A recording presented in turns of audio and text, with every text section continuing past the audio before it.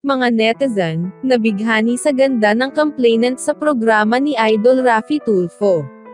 Sa November 20 episode ng RTIA, dumulog ang isang magandang misis sa Rafi Tulfo in action, ang isang netizen na si Jazel Ann Lopez.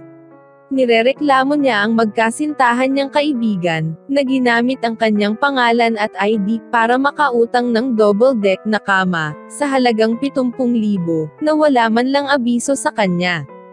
Identity theft ito, malaking kaso yan, sabi ni Idol Rafi Tulfo.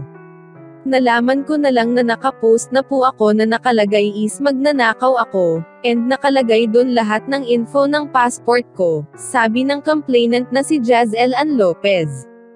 Para naman gumanda ang mood ni ma'am, eto ma'am sabi ng mga netizen, sabi ni Idol Rafi. Ang ganda niyo po. Ang ganda naman ni ma'am. Ang ganda naman ni Jazel. Huwag ka na umiyak, ganda mo po. My love life na kaya yan sir. First time mangyari ito. Natatawa ako sa mga netizen, imbes na mag-comment tungkol sa issue, nagko-comment dahil sa kagandahan ni ma'am, sabi ni Idol Rafi Tulfo.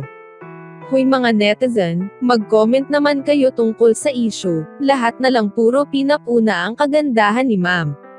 Dagdag pa ni Idol Rafi Tulfo.